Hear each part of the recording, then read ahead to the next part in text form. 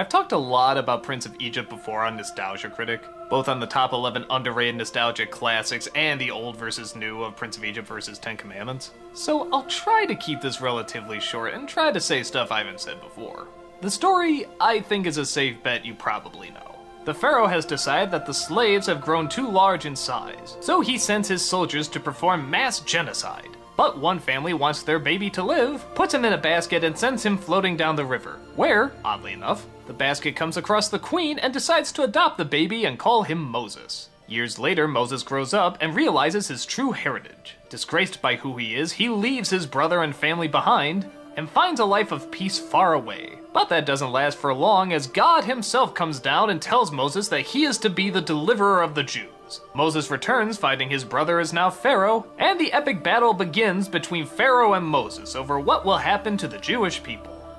The film is gorgeous. This is one of the best looking animated films I've ever seen. I'm not even really a big fan of Egypt or the desert, but by God, the shots and the angles they get in it, it's just unbelievable.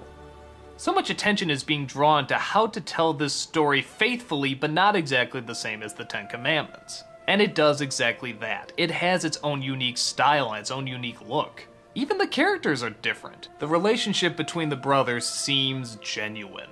They both now have grown up and they both now have new responsibilities that they wish to honor and do not want to break. But at the same time, they're still family. And this is what makes great drama. There's Val Kilmer as Moses and Ralph Fiennes as Ramesses, and both of them are fantastic. Even the other celebrity voices, though distracting at times, like Jeff Goldblum or Patrick Stewart, still match well to the character and tone that the movie's trying to get across. It's just distracting in that you can tell it's their voices, but you warm up to them pretty quick. Something else I've never talked about is the music. The music is also wonderful.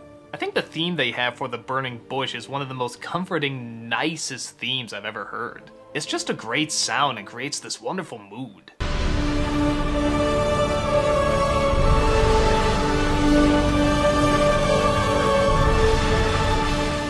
Now, some people can and have been turned off by this movie because, well, while Ten Commandments was just intended for adults, this is more older children and adults. That is to say, there are songs, there is some comedy relief, and there are some weirdly drawn characters. And yes, that can be distracting at times. Like half the time there's no segue into the song. Steve Martin and Martin Short as the high priests are a little odd and out of place at times. And horrible to say, but because it is sort of a Disney style, maybe it could have benefited more from a little bit more of the Disney design. I mean, some of them look good, but others do look kind of odd.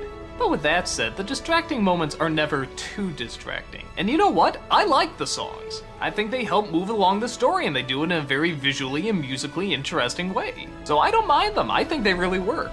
But many would argue if you're really gonna tell the story of Moses and you want to step up your animation company and make it more adult, you should probably leave some of the stuff behind. I'd be lying if I said I didn't feel that was totally true, especially with something as heavy as the story of Moses. But I also understand the need to appeal to a general public, and like I said, I think they work it in pretty well. So I stand by it, eh, at least by the songs. I do feel bad this movie is not more appreciated, and maybe it is because Ten Commandments was just such a landmark, and even though this is a good film, yeah, it's probably not really a landmark in any way. At least, not in the way that most people view cinematic landmarks. But I still think it's a good, strong film. Better than Ten Commandments, in fact. It has great characters, it has a timeless story, it has wonderful music, it has breathtaking animation with some breathtaking visuals. Even if you're one of those people that can't fully get into it, I still say check it out because there is some really great stuff in it. And I think the story of Moses deserves to be told from a different point of view, and this is a very smart point of view. What else can I say? I love it. I've seen it a million times before, and I'll definitely see it a million times again.